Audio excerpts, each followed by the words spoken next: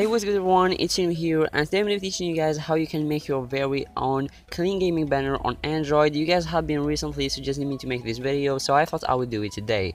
For this video we're going to be using two apps, Pixel Lab and Photoshop Touch. Both of these apps will be down in the description below. So this is Pixel Lab so go ahead and just go ahead and enter to the app and then you'll be seeing this text right over here. Press on it and in the bottom you should see that you have this menu right over here. So all you have to do is going to go ahead and press on this edit button which shows like a pen and then go ahead and edit your name and make sure that it says your channel name. In my case it's Cinou just like this. And then go ahead now and just choose for the option the option sorry that it says uh, fonts which is this one. Go ahead and press on it and go to my font and then choose this font which called 20, 28 days later. So I know a lot of you guys don't have this font so what I want you guys to do is to go ahead to the description below and download it. And once you download the font make sure that you just copy it and paste it on your download uh, folder so make sure that it is in there. So what, once it is on your download folder you should actually see the font right over here.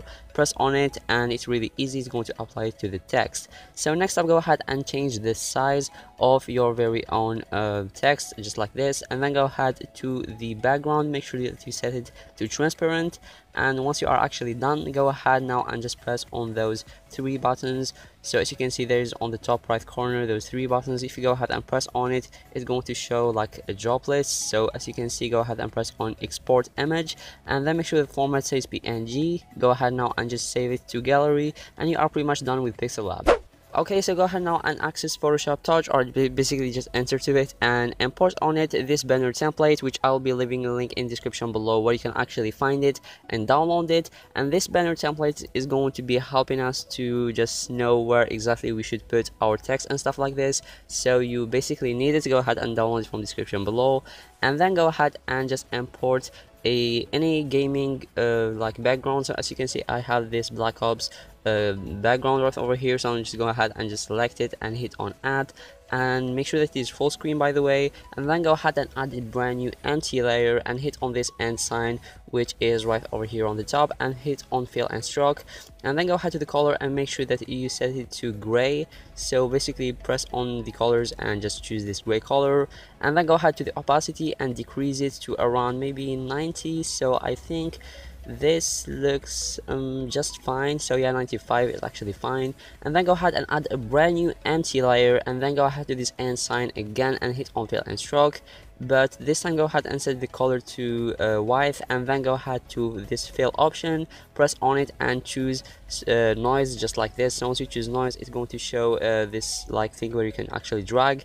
Basically make sure that the amount is saying one. So make sure that you set the amount to one and that's that's looking pretty good. And you can go ahead now and decrease the opacity so the noise won't be like too strong and we are pretty much done. So now let's go ahead and just go and marriage down all the layers that we just created. And then let's go ahead and put this banner template above our layer because from now on we are actually going to be using this banner template. And for the next step you need to actually have some backgrounds about games. So for example as you can see right over here i'm going to import a csgo uh, banner or csgo sorry background. So for example it's right over here. I'm just going to add it and then make sure that you kind of zoom in just like this.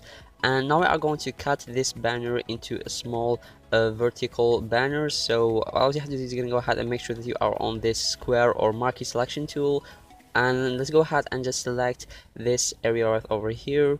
I think I'm going to move it maybe to the gun. No I just want to show the face you know what? I'm actually going to switch to this guy right over here because he have more details.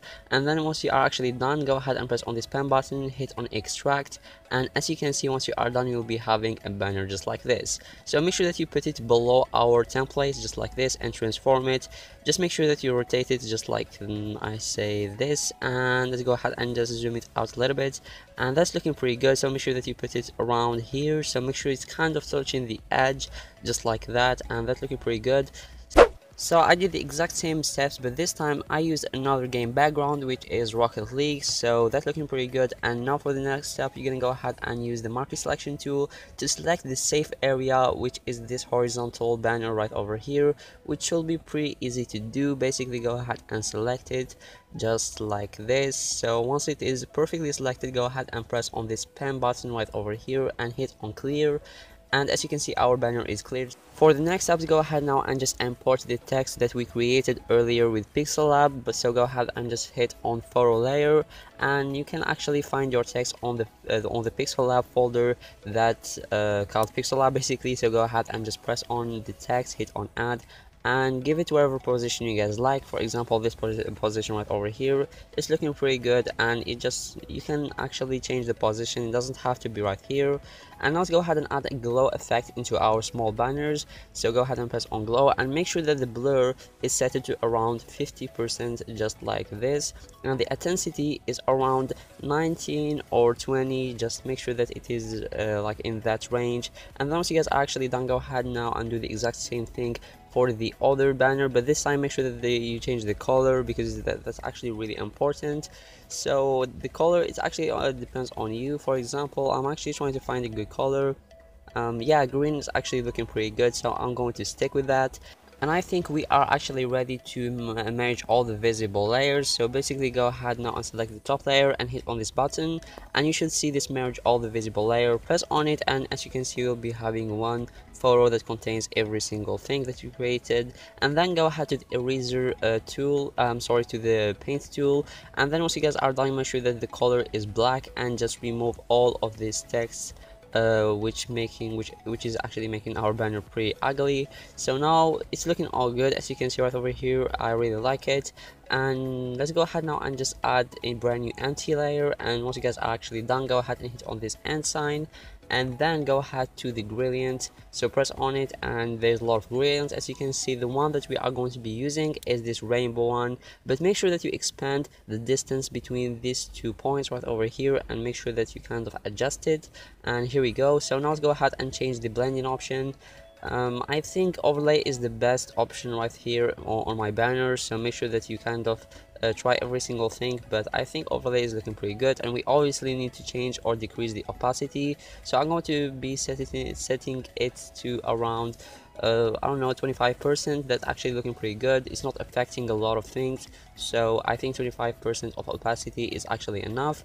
And as you can see the banners is looking pretty bad. So I'm going to be using the eraser tool which is this one to erase around my uh, my banners. So the colors won't be like washed out or anything. So I'm just going to erase around my banners so make sure that uh, the colors actually fit. So if this actually happens to your uh, very own banner make sure you go ahead and also erase the the the actual colors. So i'm just going to clean this a little bit.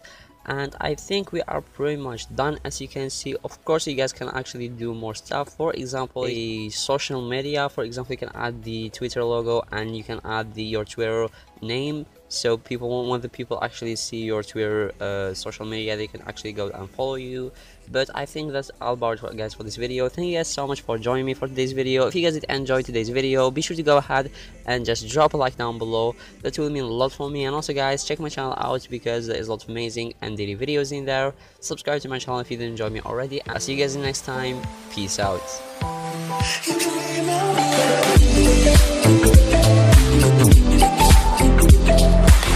Thank